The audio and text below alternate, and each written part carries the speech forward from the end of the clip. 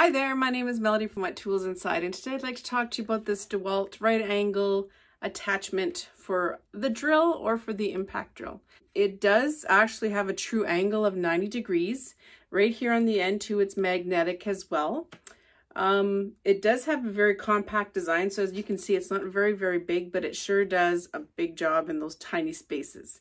So why don't we check out this bad boy and see what he can really do while my husband is attaching some lights for me today.